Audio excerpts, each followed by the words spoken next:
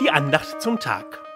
Aus den Kirchengemeinden rund um Grünstadt und Bad Dürkheim.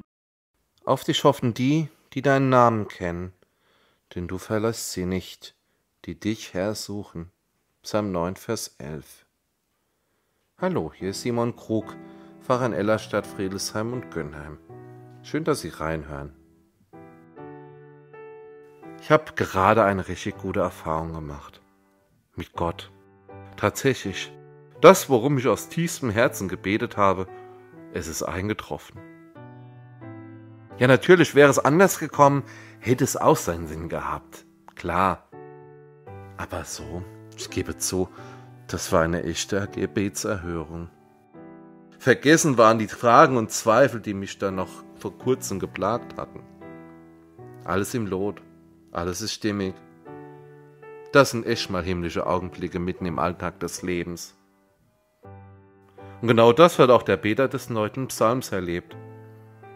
Er war bedrängt, wurde sogar verfolgt und ungerecht behandelt. Und jetzt hat Gott eingegriffen. Und der Beter stimmt fröhlich ein Loblied an. Er ist davon überzeugt, dass es allen so geht, die auf Gott vertrauen.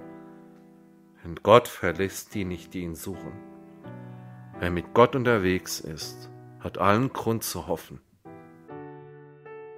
Was bedeutet das aber für mein Leben? Mache ich denn dann nur noch gute Erfahrungen? Läuft dann alles immer glatt? Ganz sicher nicht, leider. Wir leben weiter in dieser Welt. Ich lebe weiter in dieser Welt, Sie, ihr alle, wie jeder und jeder andere auch. Wir sind nicht befreit davon, ungerecht behandelt zu werden oder nichts mehr Leidvolles zu erleben.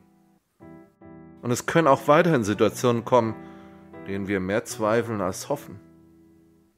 Bei all dem bleibt aber die Zusage, denn du verlässest nicht die dich Herr suchen.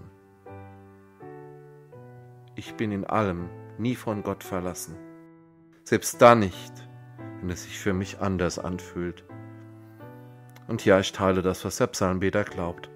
Ich verlasse mich auf Gott, bin ganz sicher, dass er da ist. Immer. Amen. Gottes Segen möge dich in diesem Tag bekleiden. Der Herr segne dich und behüte dich.